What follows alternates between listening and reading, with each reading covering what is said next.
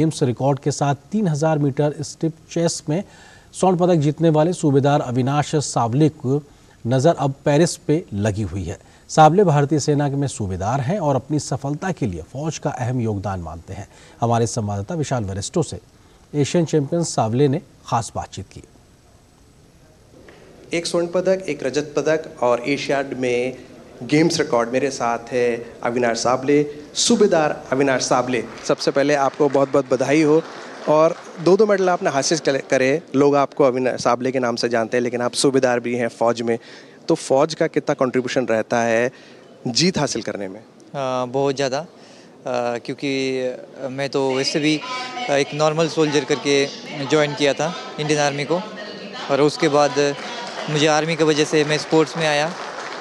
तो मतलब मैं पहले तो एक सोल्जर हूँ तो मुझे लगता है कि बहुत खुशी होती है और इस जो मेरी मतलब स्पोर्ट्स की जर्नी है, उसमें आर्मी का बहुत ज़्यादा मतलब योगदान है क्योंकि आर्मी ने मुझे जो स्टार्टिंग के ये थे, उसमें बहुत ज़्यादा सपोर्ट किया है और वहाँ पे मुझे एक प्लेटफॉर्म मिला स्पोर्ट्स में आने का प्रैक्टिस करने का मौका मिला, अच्छी फैसिलिटीज़ मिली तो उसकी वजह से शायद मैं स्पोर्ट्स में अच्छा कर पाया।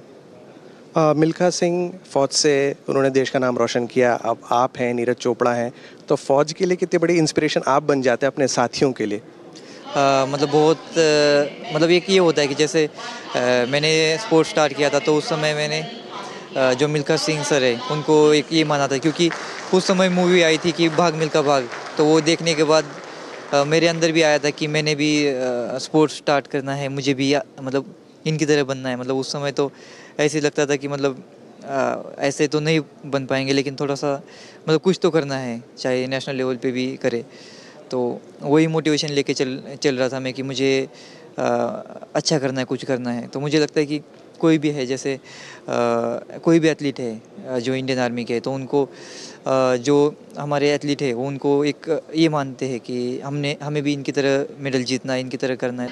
आपने जब स्टीपल चेस भाग रहे थे आपको दिमाग में था कि एशियन गेम्स रिकॉर्ड बनाना है? हाँ जी बिल्कुल मतलब जो इस साल के कॉम्पिटिशन थे मेरा कभी थोड़ा सा रिज़ल्ट कभी अच्छा रहा कभी अच्छा नहीं रहा तो इसलिए थोड़ा सा ये था कि अभी एशियन गेम्स इस सीज़न का लास्ट कंपटीशन है।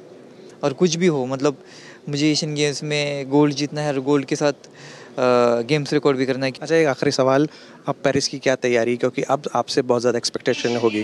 अभी जो पेरिस ओलंपिक्स है उसका मेरा यही फोकस है कि नहीं मुझे कुछ भी हो मतलब उसके लिए मेरा तो अंदर से यही है कि सभी का एक बहुत बड़ा ये होता है गोल होता है। मेरा भी गोल है कि नहीं मुझे मतलब मेडल जीतना ही है। तो ये थे सूबेदार अविनाश साबले जिनका ये कहना है कि एशियन गेम्स में रिकॉर्ड बनाया पिछली बार अनलकी रहे लेकिन इस बार पेरिस में नहीं चूकना है। कैमरामैन राहुल चोपड़ा के साथ मैं विशाल बेरिस्टू डी न्यूज़ दिल्ली। इस खबर के साथ फ़िलहाल इस बुलेटिन में इतना है लेकिन डी